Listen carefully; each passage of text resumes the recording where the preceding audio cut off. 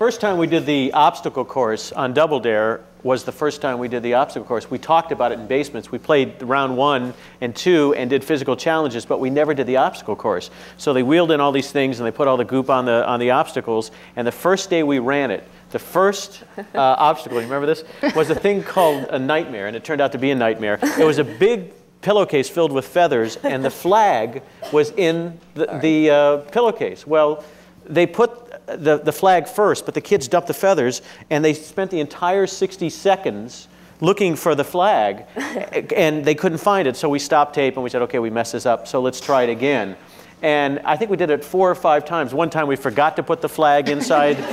and, and uh, Gerry Laybourne was there, all the executives were there. It, it, was the worst day of all of our lives. And we just went around saying, this is never going to work, this is never going to work. And then it became what it became. But, you know, that's where you learn you really need to test everything several times before you take it out.